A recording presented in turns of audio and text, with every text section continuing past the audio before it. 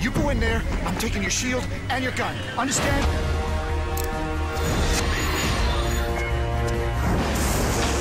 You got it wrong! You're... You're killing him! He disregarded a direct order! He saved lives.